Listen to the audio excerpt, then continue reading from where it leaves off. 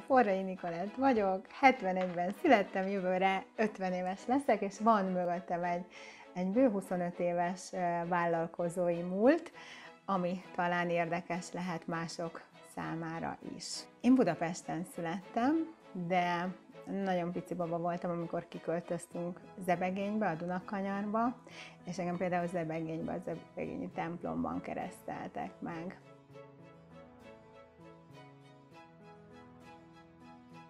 Hát ilyen sztori nálunk is volt. Szerintem az én esetemben még mindegy volt, hogy, hogy minek születek, lánynak születtem, viszont az, a testvéremet, aki másfél évre rám született, őt várták fiúnak. És nem is volt lány nevük, egyébként Zsuzsának hívják, de csak fiú nevük volt Ricsi. És amikor így megszületett, akkor hirtelen azt se tudták, hogy minek nevezzék el, és mi a nagymamáink után kaptuk a, a, a nevünket. Egyébként nekem a másik nevem Júlia, nem csak Nikolát, úgyhogy egyik nagymama Júlia volt, így a tesóm Zsuzsanna lett, miután csak, csak Ricsi nevük volt, és emlékszem, egy picit szerintem meg is határozta az ő, ő sorsát az, és hogyha későbbi dolgokról fogsz kérdezni, akkor majd rájössz, ezt miért mondom el, Szerintem egy picit meg is határozta az ő sorsát az, hogy, hogy valahol egy nem várt gyerek volt. Másfél évre rám született, igazából Igazából egyáltalán nem várták, anyu csak azt vette észre, hogy én elutasítom a, az anyatejet, és, és nem akarok többet szopni, és nem tudták, hogy mi van, és hát az volt, hogy, hogy anyu újra terhes volt. Akkor megszületett a fiúnak várt lány, fölhívták a nagyapámat, és a nagyapám ennyit bírt mondani, hogy azt hittem gyerek. Ez, ez olyannyira meghatározó, hogy neki van egy olyan gyógyíthatatlan betegsége, amivel együtt kell élni, együtt kell élnünk. Úgyhogy ja, voltak meghatározó dolgok, hogy az én, én születésem körül és az én születésem után is.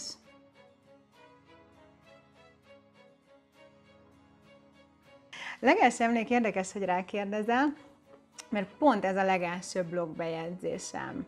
És hogy miért született meg ez a blogbejegyzés, én három éve egy kicsit magam alatt voltam egy Újra a második házasságom után, és uh, mihez is kezdjek az életemmel, és akkor is szembe jött Anthony Robbinsnak a, a Date with Destiny uh, nevű tréningje, és úgy döntöttem, hogy arra kimegyek, és Tony uh, idéztette fel velünk egy meditáció során a leges-leges-leges legelső gyerekkori emlékünket, ami egyébként akkor így nem ment túl gyorsan, meg úgy, úgy nagyon kellett rajta gondolkodni, de meg lett és hogy ő ezt miért idéztette fel, nem is gondolnánk, hogy a, hogy a legelső emlékünknek milyen hatása és kihatása van az egész életünkre, az egész felnőtt korunkra. A legelső emléket nem lövöm le be a videóba, azt elolvashatjátok a blogbejegyzésbe, de azt, azt elmondom, hogy mi volt a második. Második emlék az az volt, hogy Zebegényben, falu végén laktunk a patakparton, utolsó ház mögöttünk csak a búzamező, mellettünk pedig az erdő és a hegyoldal, és mindenki keresi a tesómat, hogy hol van. Talán én egy három éves lettem, ő másfél éves volt, akkor e, tanult meg járni, mászni, menni, és eltűnt, és, és, és nem találták a felnőttek, a felnőttek alatt anyukámat és a nagymamámat és a nagymamám testvérét kell érteni. Majd megleltük, e, volt egy nagy hófehér kubaszunk, egy nagyon-nagyon vad kutya, ugye a kubaszok, ne, nem egy kis ölem, aki láncom volt, és mindig láncom volt, és mindig eltépte a láncait, és mindig csavargott, tehát már az apu nem tudott milyen vastag láncot csinálni annak a kutyának, hogyha hát csajozni akart, akkor ő ment kerítésen mindenen keresztül, tehát ilyen nagyon nagy lánca volt már végén megkötve, és a testvérem az ebben a nagy láncba betekerve a vad kuvasz mellett ült, és együtt eszegettek a kuvasznak a tányérjából. Tesóm éhes volt, a kutya akkor kapott meleg főt ételt, gondolta, hogy ő is megevédel a kutyával. Amúgy az én életemet is meghatározta. A, az, az első emlékes egy olyan volt, hogy a Úristen a testvérem, és, és, és most mi lesz, és teljesen meghatározta a, a, a felnőtt életünket is, tehát nem csak nagyobbként, de egészségesként is mindig én gondoskodtam róla.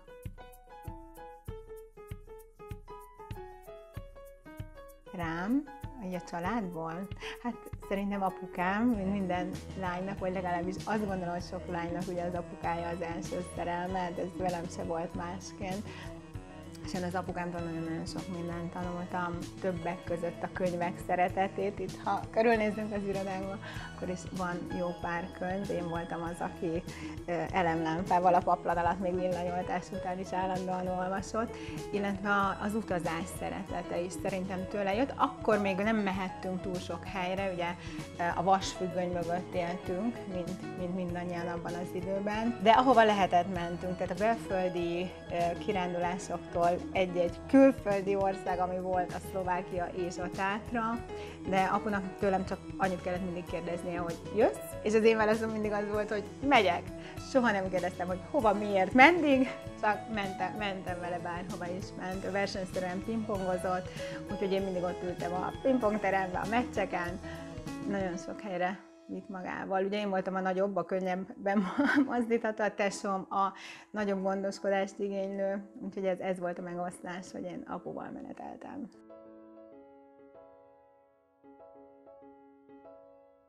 Julcsi, Juli Julcsi gyerekkoromban, felnőtt koromban, vagy később váltottam át a Nikire.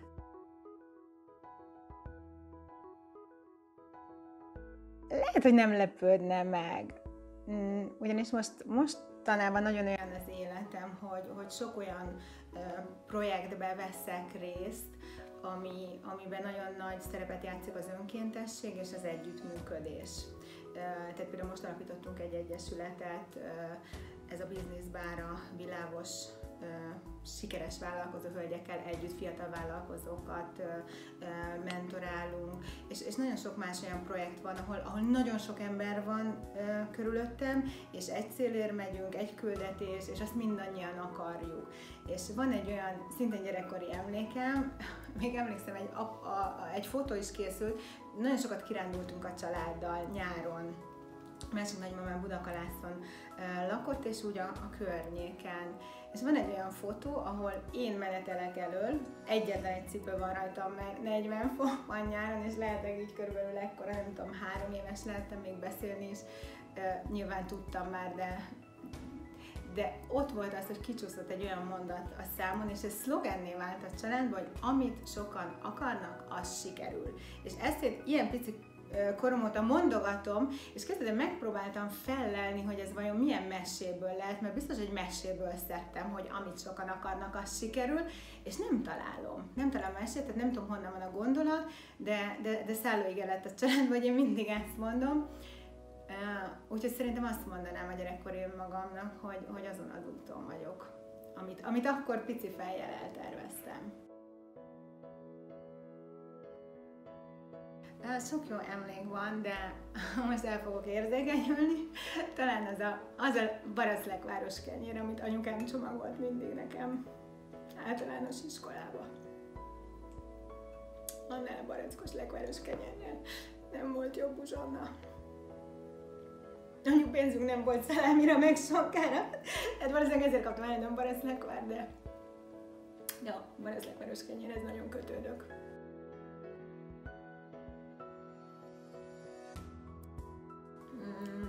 Hálát adok az Istennek, mert azt gondolom, hogy, hogy nekem egy nagyon jó gyerekkorom volt. Nem voltunk gazdagok, tehát elég sok minden nélkülözés, egy gyerek nem tudja mi az, hogy nélkülözés, hogyha igazából mindene megvan, hogyha a szeretet megvan körülötte. Tehát én, én nagyon jól éreztem magam, magam a gyerekkoromban, és hálát adok a Jóistennek, hogy nem vertek, nem bántottak, mert ugye hallunk olyan sorsokról, sokkal nehezebb sorsokról. Tehát lehet, hogy, hogy pénz, nem volt, de, de szeretet volt. Meg, meg, meg valahol ez a, a, a tudás iránti vágy felkeltése apukám által, ezért is hálát adok hogy egy, egy olyan környezetben és közegben nőhettem föl. Egyébként Zuglóba, Zuglóba jártam utána Zebegényből, visszaköltöztünk Budapestre, és Zuglóba jártam általános iskolába.